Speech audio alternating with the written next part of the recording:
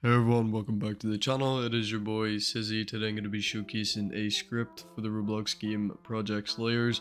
But before getting today's video, make sure you drop a like, comment and subscribe.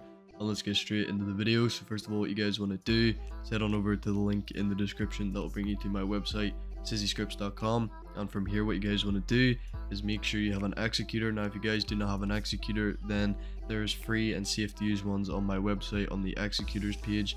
And I have showcased a lot of these on my channel and you can go find one of them and it'll show you how to install it without getting any viruses or whatever. Now, let's get into the actual script.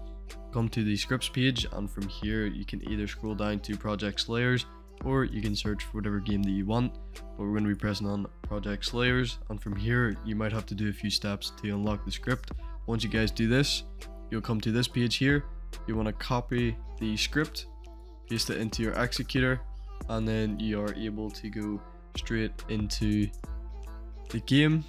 Now that should only take a few seconds to um, load the game. Now I have auto attach on as well just in case we crash at the start so, yeah. Shouldn't be too long now. There we go. We'll just press skip. Doesn't really matter. We're level 31 because we've used this before. Play, join this level 0 map. And we can execute any second now. Just hate how this takes so long to load. Some of these games are ridiculous with loading screens and times. So now that we're in, we're going to be pressing execute. Now this is what it looks like. It is called Grinchware Project Slayers credits. You can join their Discord if you need help with anything and you can join my Discord and app me if you need anything as well. So we've got the main and misc. Main you've got farming, skills and settings. Misc you've got misc, gourd, teleports and that's it. So if we go to the main first, we've got drop down and you can select all these different people. And then you can farm your selected boss.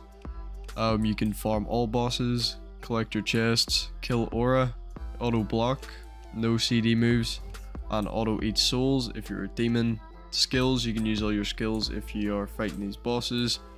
Uh, choose your farm distance your tween speed uh, your farm method and uh, what you're going to be using to uh, fight. So we just go to combat. That'll do.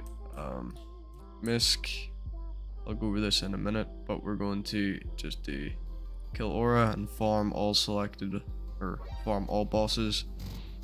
So as you can see, kill that one pretty easy as we're level 31.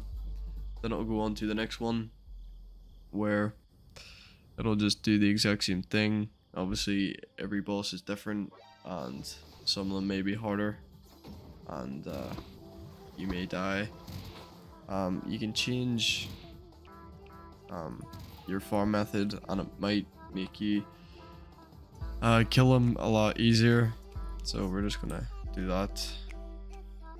Misc, uh, we're not gonna do lag server, but you've got infinite breathing infinite, stamina, no drying, walk speed, jump power, meditate, split boulder, gourds. I'm not really sure how to use these, but if we just do wind trainer, uh, it'll teleport us to all the different trainers, different villages. You can go to Muzan if he's in the server.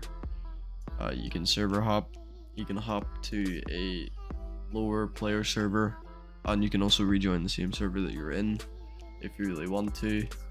So as you can see everything works. We're going to do the walk speed jump power oh, uh, it's not letting us jump I think.